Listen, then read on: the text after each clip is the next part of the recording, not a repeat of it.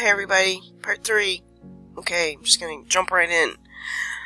Uh, so I, in the last video I told y'all that I, um, have untangled this, uh, mystery of the, you know, the guys, um, these guys.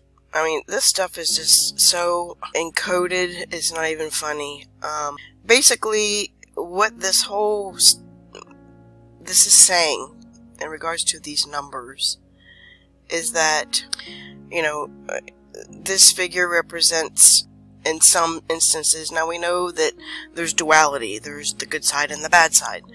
And in some instances, this old man here is symbolic of the Father, our Father, who art in heaven. And, um, you know, Holy Spirit led me to John 19.2, the 192, which um, in the Strong's uh, 711 is purple. Of course, purple is referring to royalty.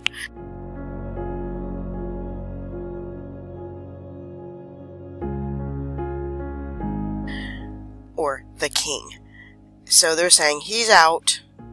That's what these ads are, are, are portraying is that he's out and these two are in. Well, these two numbers is just another name, another code for the fallen one.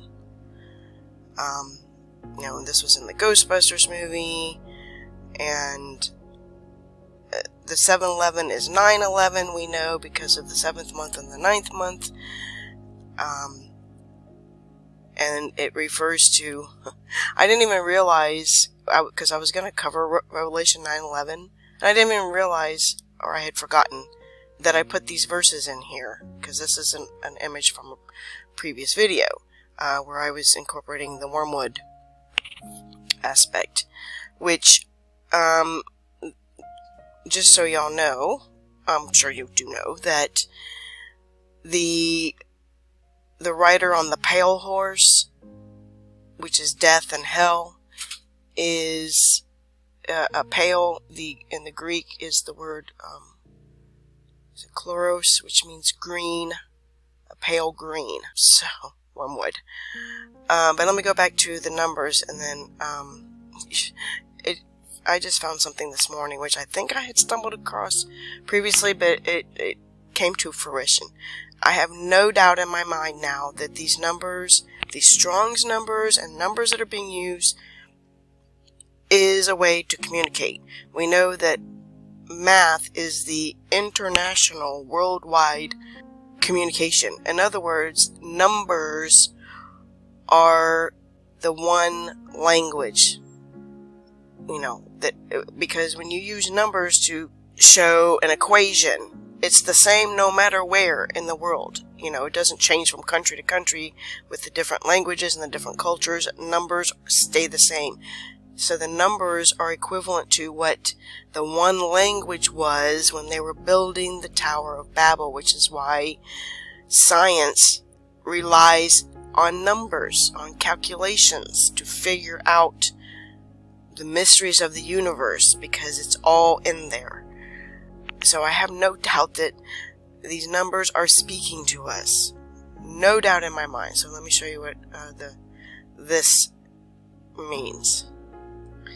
So, you know, after uh, seeing those videos, which I've covered in previous videos of mine, the, the, the ad videos of the 118, 118. Now, because it just seems odd, um, you know, you, you dial 118 in the UK to get information. It's like here in the US, it's 411.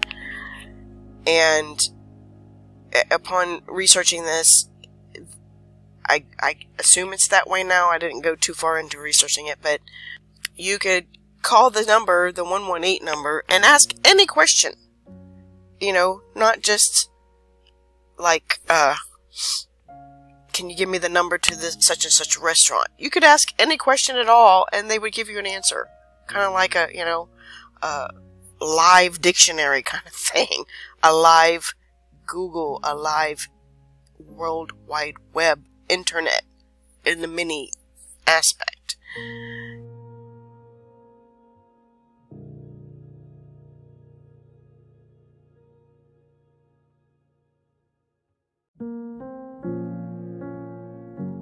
I was, uh, you know, upon watching the ads, I was like, why are there two 118s? What's up with the, you know, if it's just this number that you call, why are there two?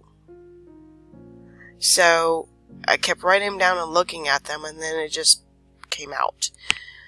As I stated in last night's video, that in that one video where the two 118 guys are on the golf course, or they're at the country club, and on the country club building is um, the numbers 18 and then 80 and they're they're separated. That's not like a norm. First of all, a country club like this, and this is the UK, they're not going to have numbers up there like that. So these numbers were, I'm sure, were put there. I don't know that for certain, but it seems like they were probably put there for the shooting of this ad. You know, this quote unquote commercial. Um, we know 18, now there are good aspects of numbers, like I said, and bad. So we know 18 is 6 plus 6 plus 6. And 8 um, is a reference to Yeshua. Uh, when you turn the 8 on its side, it's the infinity symbol. Um, but then, you know who copies that with the Ouroboros.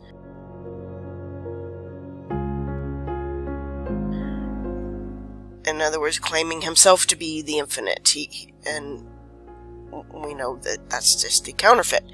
So, so I, I, I saw the, um, you know, the 8 and the 80. When we do it backwards, it's 8 and 81. And then in the same video, it's confirmed that 81 is, it's shown again on this flag here where they shoot a hole in one. It's 81 forward, but 18 backwards. So we know that, you know, the backwards is in reference to the mark of the beast, 6 plus 6 plus 6, and then the other way, it's 81. So, so whether you read it this way, this 8 and the 1 in the middle is either 81 or it's 18.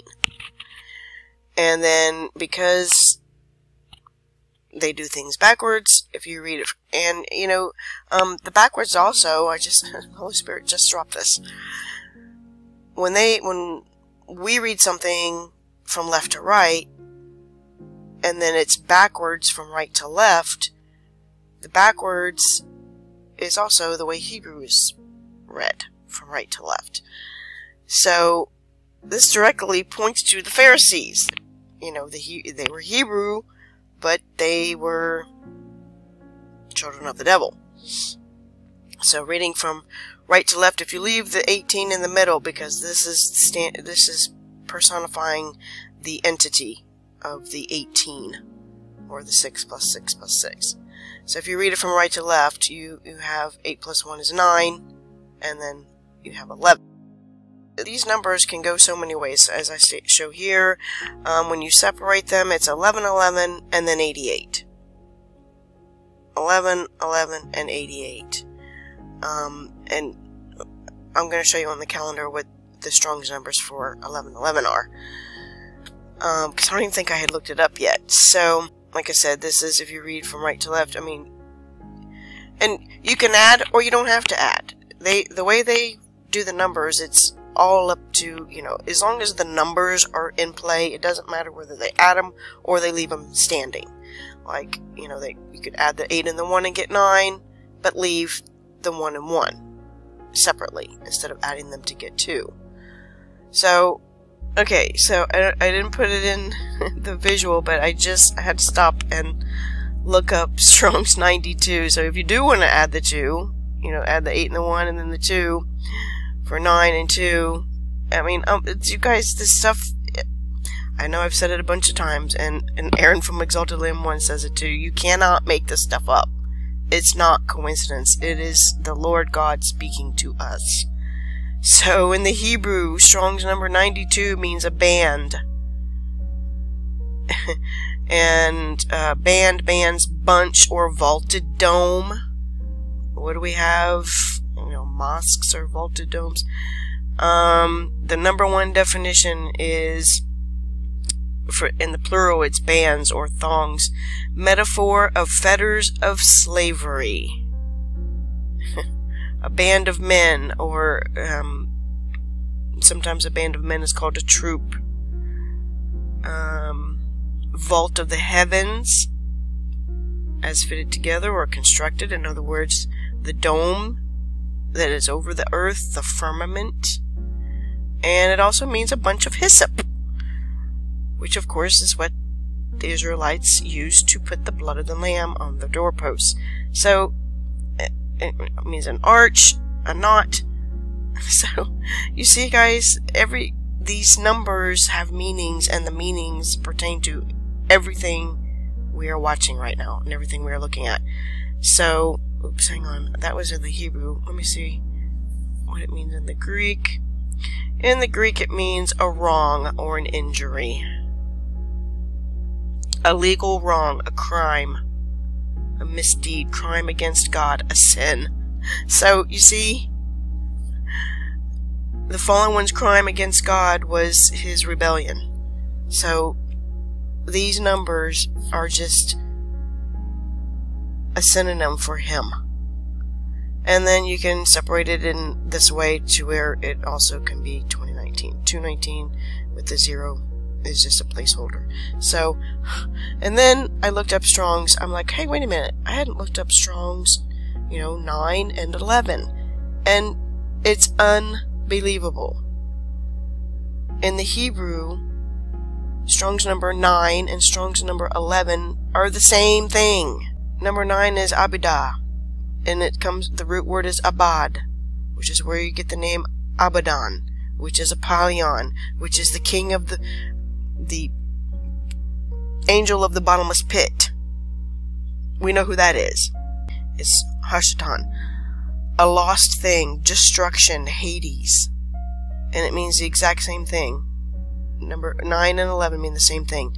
No coincidence and no surprise that they choose on the date what happened in 2001 in New York City. That date was specifically chosen. And in the Greek, number nine is Abilene, and it comes from, uh, it, it says in the definition to compare it to Hebrew Abel. And we know that Abel was of the good seed.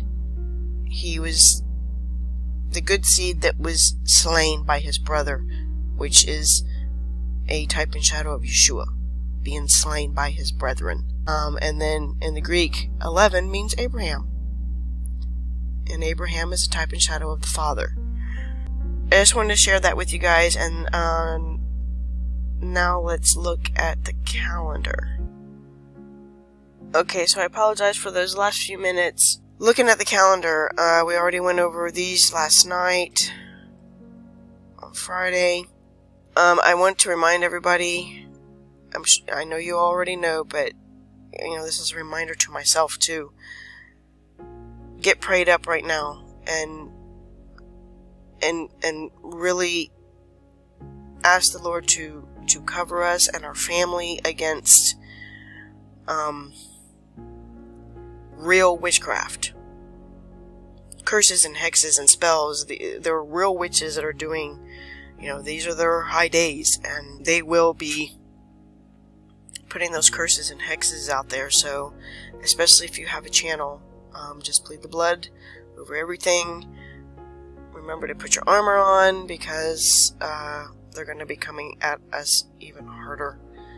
So pray for one another because we all need to help each other right now. We are all one body and we need to lift each other up. L- let me just quickly say this Day of the Dead thing, you know, in the IPG2 video, there is. Well, let me go there real quick. Um, this character is a common character in the Day of the Dead celebrations, and of course, there's the fireworks going off. And, you know, I. I was led to watch the animated movie Coco, which is all about the Day of the Dead. And I did, you know, I didn't watch it for entertainment. And of course, for those of you who've seen it, the good guy who you think is the good guy in the beginning ends up being the villain in the end. And the guy who you think is uh, a low life, in other words, uh, the way the Pharisees and other people thought about Jesus, he turns out to be the good guy. And the real father. So these these movies are not eh, they they tell the story constantly in the movies of the Bible constantly for those with eyes to see. So anyway, in this video, right after this scene, he puts his hand on the girl's shoulder and she has the tiger on her back. And before it shows, it, it zooms down and gets a close up of her waving the white flag, there is the yin yang symbol on the ground which disappears. She represents the tiger economies. I finally, after doing a lot of research, figured out what the tiger was on her back. Um, the tiger economies, they're called the Asian tigers originally, and there are also Latin American tigers, and it's no coincidence that the Asian tigers, which are tiger economies, they are called, are Hong Kong, Taiwan, Singapore, and I didn't realize this. They are four Asian, also called four Asian dragons or the four little dragons. In Chinese and Korean, only the dragon terms are used. Uh, these are the economies of Hong Kong, Singapore, South Korea. Okay, that was the other one, obviously. And Taiwan. And of course, we know what's going on here. Um, we know that there's always a threat there because of their neighbor to the north. Uh, they're being threatened by China. Uh, you know, there's something going on in these these four, and then there's also the um, Latin American tigers, which no surprise. Um, Chile was the first Latin American tiger, and it basically a, a, a tiger economy is an economy that makes a goes from being very poor to very rich very quickly. And um, in, in, other words, their economies increase to where their their GDP is high and they're doing well.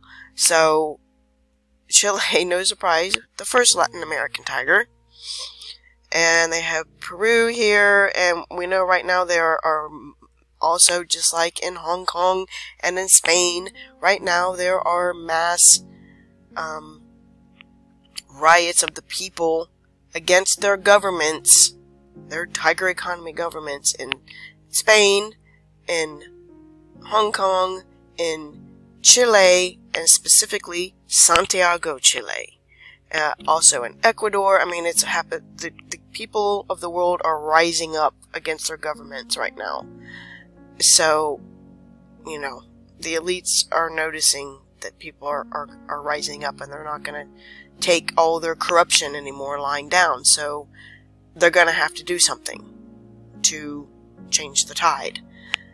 And you know what that means. So, I mean, right now, Santiago, Chile, all the things that I was showing you guys, these uprisings are happening in these countries first. They are a prelude to what is going to be coming to America, no doubt and this was just out one day ago, Chile says no chance of riots derailing APEC UN climate meet in Santiago. Oh, so I didn't realize there was going to be a, a UN climate meet in Santiago. Okay. So um, they are rioting, so of course they have martial law, they have curfews. Uh, right, please fight, uh, fire tear gas to disperse protests in Santiago, Chile. That was two days ago. So you see, he he's he's so awesome the way he shows us things to to prepare us for the so when we do see them just like his word says i'm going to tell you now so when it happens you'll believe and of course he's saying you know get ready when you see these things begin to occur lift up your head and look up because your redemption draws nigh now the the day of the dead stuff that's portrayed in ipg2 in regards to tiger economies and uh, does that mean it's going to happen on November 2nd, the Day of the Dead? I don't know. Could, but there's a reference here in this movie, and they distinctly, they do not show these numbers for no reason. Of course, reading it backwards is 723. Um, but reading it from left to right, it's uh, 327, and I was led to this, I just want to share it. This is definitely not coincidence. The 327th day of the year is November 23rd, which is 923, which is date Emperor Augustus was born, who is a type and shadow of Antichrist. Um, it, it, you see, guys, it just goes on and on. So, could it be this day that something will happen? I don't know, but just these days, these three days are high watch dates. Uh, November 21st to the 23rd, high watch dates. So, um, I have so much to cover, guys. I, I was looking at more of the Strong's numbers to fill in in the calendar, and it's just amazing what they say. I would, I'd be like, let me look up this number, and I was like, are you kidding? I would just, this big smile would come over my face. Because he's definitely speaking to us through these numbers. Um, these are our, our lamp on the path to keep us going forward. So for those who are new to my channel, I'm just gonna I'm just kind of recapping some things, and then we're gonna go back to the calendar, and I I have to finish the 118 thing. Um, I volunteer somewhere, and they had a volunteer appreciation um, dinner, and they give away raffle prizes at these gatherings, and uh, everybody only the volunteers were allowed to win a prize because but we could bring guests with us, but only the volunteers were allowed to win the prize. So pretty much everybody had won something from their raffle tickets, and a lot of people, several people, volunteers, their raffle numbers were drawn several times, but you were only allowed to win one time, one gift. Even though their numbers were drawn, they couldn't get another gift because they had already won one. So they got down to the last prize that they had to give away, and only the people who had already won something's numbers were being drawn. And none of my numbers had been drawn. You got, I think, five raffle tickets, I think. Or maybe it was ten. Might have been ten. I don't remember. Anyway, none of my numbers had been drawn. And I was I was looking around and I was like the only volunteer that hadn't won a prize. I was like, seriously? So they decided to do it differently, and so they asked a trivia question. They asked what year the, the organization was started, and I knew the answer, but I wasn't quick in getting it out because I had to sit there and think about it. And someone sitting in front of me at the table in front of me, like, kind of, they knew I hadn't won anything because they could hear me saying, What? I haven't won anything. And so they told me the answer. And so I yelled it out and I ended up winning the prize. Well, the prize was a gift card to this restaurant. There are, are a couple of them here where I live, and I'd never been there before. So the point is, is it was, I was meant to win this. Nobody but me was meant to win this gift card to this restaurant. And they got pretty good food too. They're kind of pricey, but they're pretty good. So, and look here, there's an I just now noticed this. There's a bull here. An ox. This is the paleo pictogram for the uh, Hebrew first letter of the Aleph Bet, which is Aleph, which represents the Father. Because the bull, the ox, is strong and Oh, it's just no, it, it can't, it's not coincidence. So anyway, he's so awesome the way he does it. So Santiago, and then, as I showed in previous videos, the, the actor that played the, the, um, Elon Musk character on the TV series Salvation, who basically ended up being like the savior because he saved everybody from what was coming, although it ended with a cliffhanger because that's how they wanted it to end. And his real name is Santiago Cabrera. And so then I was like, okay, I, I, get the Santiago. So what about bodega? What does that mean? Obviously, it's a Spanish. This is a Spanish term. So I'm like, what does that mean? And I was blown away by why what I was shown. So the word bodega in Spanish means a storehouse for maturing wine. I'm like, what? Although bodega initially meant a storehouse for wine, it now most commonly refers to a grocery store in an urban area. Okay. Um, but initially it meant a storehouse for wine. The new wine is the bride. She's the new wine.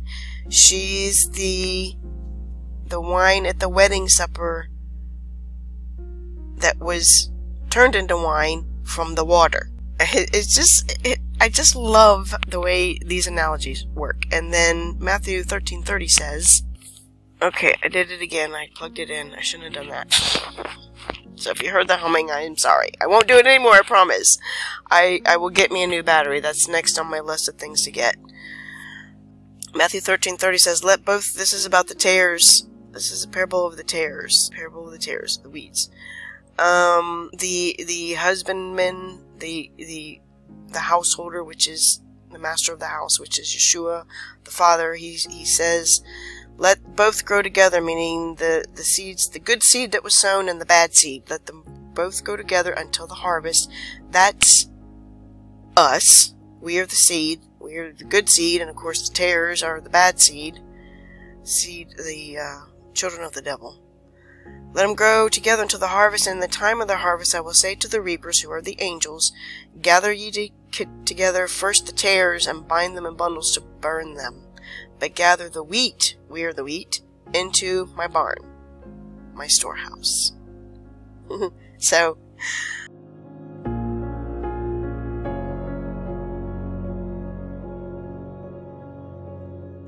uh, he's so amazing, guys. So, um, I'm going to cut this one off here so that I can get into the calendar stuff, let the battery recharge, and um, not worry about trying to plug it in. So, I will see y'all in part four, I guess it is. They're going to keep coming because I want to keep show. I have, there's just so much.